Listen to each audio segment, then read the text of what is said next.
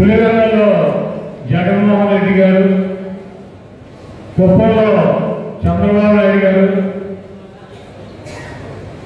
తెలంగాణలో సిద్దిపేట హరీష్ రావు గారు జయశంత్ గారు గురువాలో నేను కూడా చెప్తానని చెప్పి.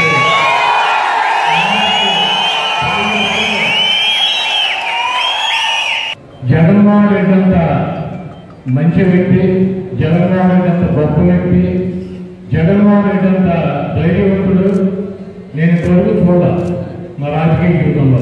ఇంకో జన్మంటూ ఉంటే నేను జగన్మోహన్ రెడ్డి ఆయన నవరత్నాలు అని చెప్పి తొమ్మిది రకాలైన కార్యక్రమాలు పెట్టాడు ఆ కార్యక్రమాల్లో మరి చదువుకున్నటువంటి మాకు బాగా నచ్చినటువంటి కార్యక్రమాలు. స్కూల్ పిల్లలకి చాలా మంది తల్లిదండ్రులు స్కూల్కి ఫీజు కట్టలేనటువంటి పరిస్థితి పుస్తకాలు కొనలేనటువంటి పరిస్థితి వాళ్ళకి పక్కలు పుట్టించలేనటువంటి పరిస్థితి అటువంటి పరిస్థితుల్ని కూడా దృష్టిలో పెట్టుకుని ప్రతి విద్యార్థిని చదువుకోవాలి. మరి వాళ్ళ పట్టిన తల్లిదండ్రులు కాదు నేను భరిస్తానని చెప్పి ప్రభుత్వం భరిస్తానని చెప్పి మరి ఒకటో క్లాస్ నుంచి ఐదో క్లాస్ చదివేటువంటి పిల్లలకి ఐదు వందల రూపాయలు అదేవిధంగా ఐదు నుంచి టెన్త్ క్లాస్ వరకు చదివిన పిల్లలకి ఏడు వందల యాభై రూపాయలు ఇంటర్మీడియట్ చదివినటువంటి పిల్లలకి వెయ్యి రూపాయలు నెలకి ఇస్తానని చెప్పడం ఫీజు రియంబర్స్మెంట్లో ఎన్ని లక్షల రూపాయలు ఎన్ని వేల రూపాయలు ఫీజు ఉన్నా కూడా పూర్తిగా ప్రభుత్వమే భరించి మరి వాళ్ళకి చదివిస్తానని చెప్పి జగన్మోహన్ రెడ్డి గారు చెప్పారు. అదేవిధంగా ప్రతి విద్యార్థికి చదువుకునేటువంటి పిల్లలకి పెద్ద చదువులు పిల్లలకి హాస్టల్లో ఉండడానికో తినడానికో మెయింటెన్స్ కోసం ప్రతి నెల ప్రతి సంవత్సరం ఇరవై వేల రూపాయలు ఒక్కొక్క విద్యార్థికి ఇస్తానని చెప్పి చెప్పడం జరిగింది. కాబట్టి అది చాలా మంచి కార్యక్రమం. ఆ కార్యక్రమాన్ని మన పార్టీలో ఉన్నటువంటి ప్రతి వ్యక్తి కూడా మరి రాష్ట్ర కమిటీ మెంబర్లు కావచ్చు బూత్ కమిటీ మెంబర్లు కావచ్చు జిల్లా నాయకులు కావచ్చు రాష్ట్ర నాయకులు కావచ్చు నియోజకవర్గ నాయకులు కావచ్చు గ్రామ నాయకులు కావచ్చు. మనకి ఖాళీ ఉన్నప్పుడు సాయంత్రం నాలుగు నాలుగింటిగా ఐదింటి సాయంత్రం ఒక రెండు మూడు గంటలు. మరి ఆ ఊరిని పది మంది పదిహేను మంది పంచుకుని ప్రతి పర్యటనకి వెళ్ళి జగన్మోహన్ రెడ్డి గారు ముఖ్యమంత్రి అయితే ఈ కార్యక్రమం చేస్తారని చెప్పి చెప్పాల్సినటువంటి అవసరం ఉంది. ఐదు ఎకరాల ఉన్నటువంటి రైతులు ఎనభై ఆరు శాతం ఉన్నారు.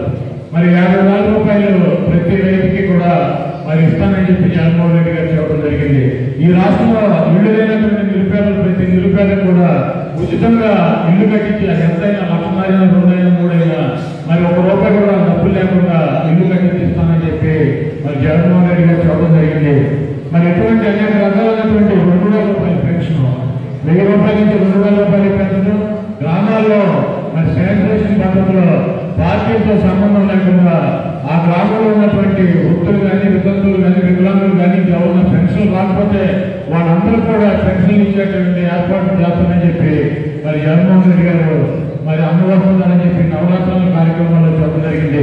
ఈ తొమ్మిది కార్యక్రమాలని మీరు ప్రజల్లోకి తీసుకెళ్ళి ఒక్కసారి జగన్మోహన్ రెడ్డి గారికి అవకాశం ఉందని చెప్పి నలభై శాతం మంది మన వాళ్ళే ఉన్నారు. మనం ఏం చెప్పేవాడు నలభై శాతం. ఐదు శాతం మనకు నాకు సంబంధించినటువంటి ఓటు బ్యాంక్ ఉంటుంది. అదేవిధంగా ఇంకో పదిహేను శాతం మందిని తెలుగుదేశం పార్టీ వాళ్ళను ఇతర పార్టీలను నోట్ల కొన్నాను. మార్చి అరవై శాతం ఓటు బ్యాంకుతో మనం గెలవాల్సినటువంటి అవసరం ఉంది. ఆ పదిహేను శాతాన్ని మీరు మరి కార్యకర్తలు కానీ నాయకులు కానీ మీరు అందరూ అంటే మీ ఓట్లనే వేస్తున్న కొద్ది ఎన్ని మీ అన్ని నా ఖాతాలో జగన్మోహన్ రెడ్డి గారి ఖాతాలు ఉన్నాయి. కాబట్టి మీ ఓట్లు కాకుండా మీరు ఇంకో పదిహేను శాతం అవసరం ఉందని చెప్పి మేము అందరికీ